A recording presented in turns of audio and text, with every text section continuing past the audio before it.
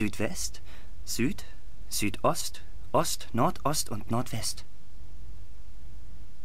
Das habe ich mir jetzt nicht gemerkt. Also Südwest, Süd, Südost. mehr weiß ich nicht mehr. Ist mein Stift? Also, Südwest, nochmal. Das Bild muss zusammen mit der Folie die Lösung für den Safe liefern. Die Route ist Südwest, Süd, Südost, Ost, Nordost und Nordwest. Dun, dun, dun.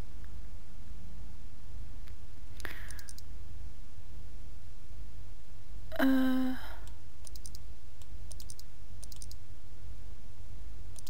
Südwest. Halt!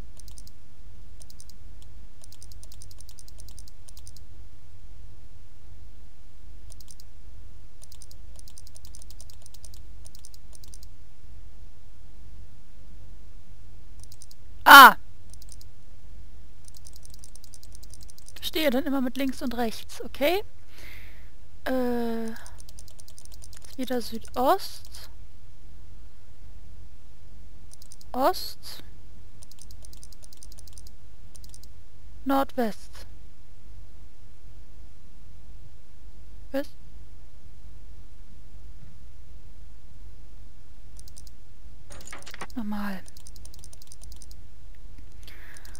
Südwest. Ich habe nämlich eins übersehen. Süd. Südost. Ost. Nordost. Nordwest. Das war die richtige Kombination. Aha. Ein Ring mit einem auffälligen Symbol drauf. Sieht irgendwie keltisch aus. Ein Baum oder sowas. Das hilft mir aber nicht weiter. Eine dreieinhalb Zoll Diskette. Beschriftet ist sie mit Biddeford und dem Datum von heute. Das sieht schon eher nach einem Hinweis aus. Ich sollte mir den Inhalt gleich hier ansehen. Wenn die Diskette keine entscheidenden Informationen enthält, muss ich halt weitersuchen. Aber so oder so sollte ich mich beeilen. Ich weiß nicht, wie lange Boris an Land bleiben wird. Du wirst eh von ihm erwischt. Ist ja wohl klar wie Kloßbrühe. Mist. Was ist denn jetzt los? Der Akku ist leer. Und auf dem Schiff ist kein Strom. Mal sehen, ob ich das ändern kann. Was? Der Schrank sieht aus, als bestünde er aus Wurzelholz. Dürfte sich aber nur um eine dünne Verkleidung handeln. Alles andere wäre zu schwer äh, und zu teuer.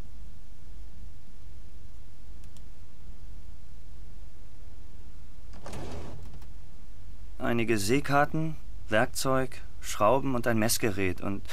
Aha, ein Schlüssel.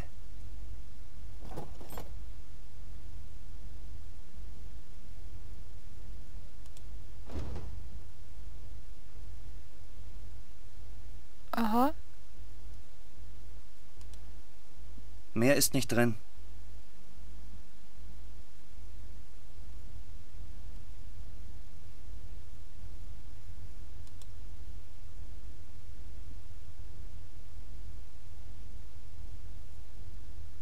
Dun, dun, dun. Ein aufklappbarer Sitz mit Schloss. Na dann haben wir jetzt einen Schlüssel.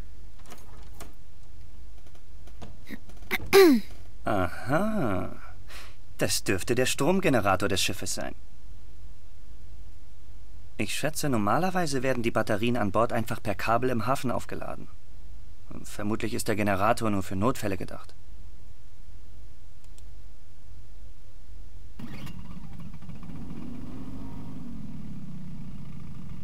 Aha, völlig trocken. Ich muss Sprit nachfüllen.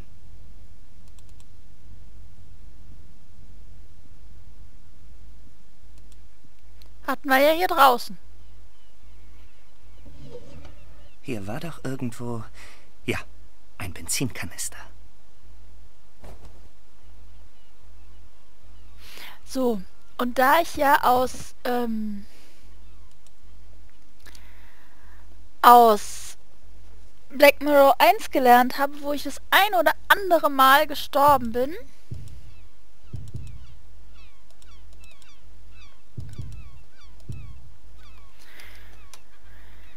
Äh, werde ich jetzt speichern, weil ich davon ausgehe, dass der zurückkommt und uns dann wahrscheinlich totschlägt.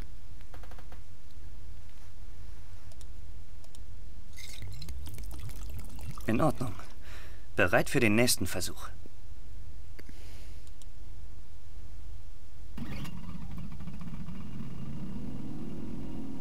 Sehr gut. Aber auch ziemlich laut. Hoffentlich hört niemand das Geräusch an Land.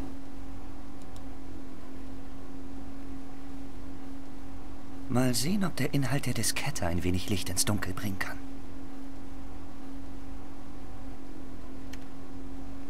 Krankenakte Mrs. Michaels? Was zum... Miss Rebecca Michaels. Verbrennungen zweiten und dritten Grades an Händen, Armen und Beinen. Rückenfraktur, angebrochene Halswirbel, bla bla bla. Aufgrund einer Sturzverletzung? Dieser Eintrag ist von 1973. Kurz nach dem Autounfall. Oder besser, dem angeblichen Autounfall? Was will Reginald Boris mit der Krankenakte meiner Mutter? Kennt er sie aus ihrer Zeit in England? Ich... ich werde mich später darum kümmern. Erst einmal geht es um Angelina. Angelina, Angelina. Hey, Fullers Laden. Und da steht jemand im Schatten. Es ist Mr. Biber. Er muss etwas über die Erpressung erfahren haben und ist ausgerastet. Und da ist Angelina. Sie geht in den Laden. Das ist der Beweis. Fuller war schon tot, als Angelina am Laden angekommen ist. Boris hat beobachtet, wie Mr. Biber Fuller ermordete. Dann muss er erst Angelina und anschließend die Polizei gerufen haben. Aber wozu das Ganze? Warum hat er sie verhaften lassen? War sie ihm im Weg auf der Suche nach meiner Mutter? Oder mir? Ha! Guten Abend, Mr. Michaels. Sie! Sie! Bleiben Sie weg von mir! Das ist auf einem so kleinen Schiff schwer möglich. Meinen Sie nicht auch? Was wollen Sie von mir? Das ist alles recht kompliziert, glauben Sie mir. Aber wir werden genug Zeit haben, das alles zu klären. Wir beide werden eine kleine Reise machen. Das glaube ich kaum! Ah! Scheiße! Scheiße! Äh, äh... Ah!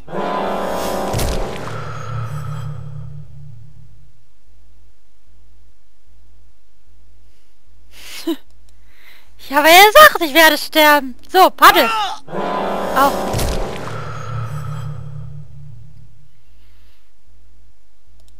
Kann ich mit ihm reden? Ähm, können wir nicht darüber reden? Nein.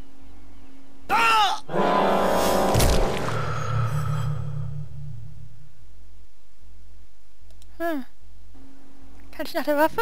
Ah! Ah!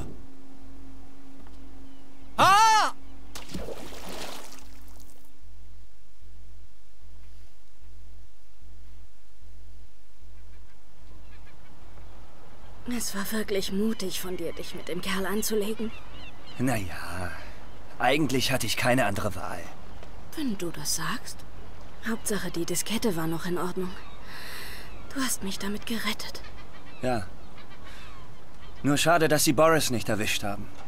Der wird schon wieder auftauchen. Ich hätte schneller zurückkommen müssen, aber mehr gab das Boot nicht her.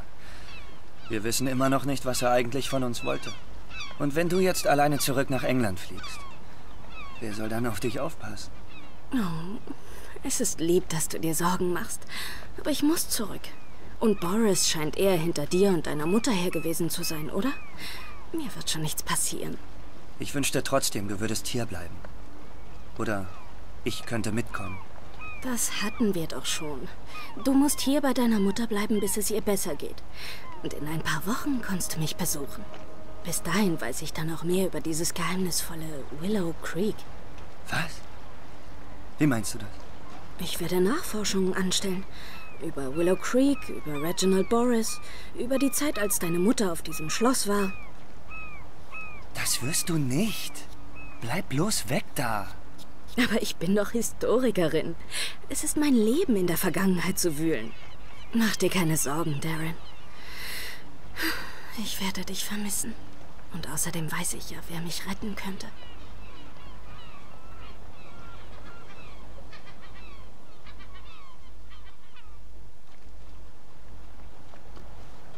Ich muss nicht erwähnen, dass ich ihr nicht traue. Die hat ein totales Rad ab.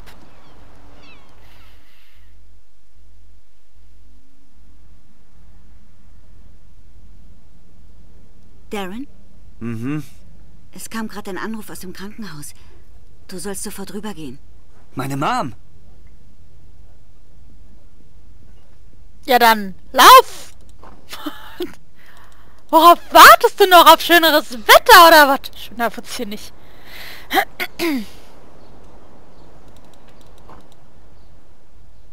Mr. Michaels, es... Ähm, der Arzt möchte Sie sprechen. Ist irgendwas passiert? Gehen Sie doch bitte einfach durch. Das ist die nette Art von, ich kann dir nicht sagen, dass deine Mutter tot ist. Darren, ich... Wo ist meine Mom? Deine Mom ist... Das Herz deiner Mom hat heute Morgen versagt. Was? Nein, das... Es tut mir wirklich sehr leid. Mom. Nein.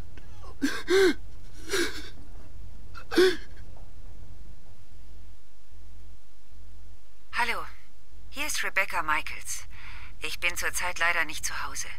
Hinterlassen Sie mir doch eine Nachricht, dann werde ich zurückrufen. Darren? Darren, bist du da? Er ist hier, Darren. Reginald Boris ist hier. Ich hab... Ich bin nach Willow Creek gefahren. Ich konnte nicht widerstehen. Verzeih mir bitte. Ich habe einiges über diesen Ort herausgefunden. Hier scheint es so etwas wie eine Verschwörung zu geben. Und ich glaube, Reginald Boris gehört dazu. Ich habe ihn heute gesehen. Und jetzt... Nein, nein, gehen Sie! Da! Darren, hilf mir! Hallo? Hallo? Angelina!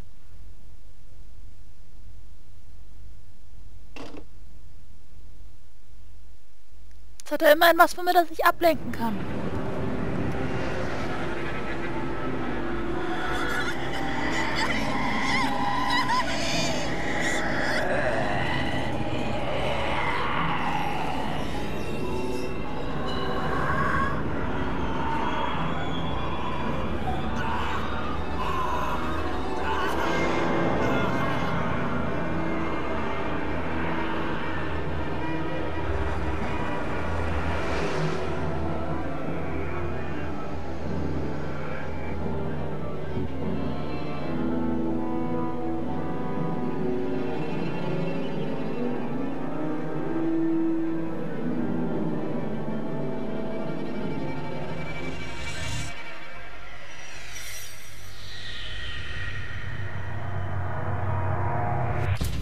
Kapitel 3 und ich wette, wir fliegen jetzt nach Willow Creek. Oder besser, wir fliegen nach England und fahren dann nach Willow Creek.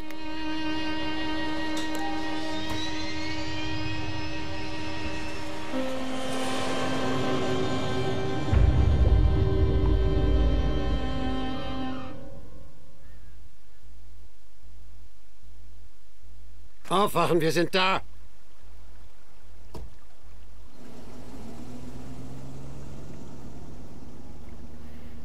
Das ist es also. Das einzige Hotel in diesem gottverlassenen Ort. In London musste ich in den Zug umsteigen und dann noch einmal 45 Minuten im Taxi sitzen. Ich bin hier mitten im Nirgendwo. Das Dorf Willow Creek liegt ein Stück die Straße runter. Aber ich sollte mich erst einmal hier umsehen. Angelina muss in diesem Hotel eingecheckt haben. Ja, willkommen zurück in der Irrenanstalt. Würde ich einfach mal sagen. Aber äh, ich mache erstmal eine Aufnahmepause, weil ich habe schon so ein bisschen Hunger. In dem Sinne, bis dann. Tschüss.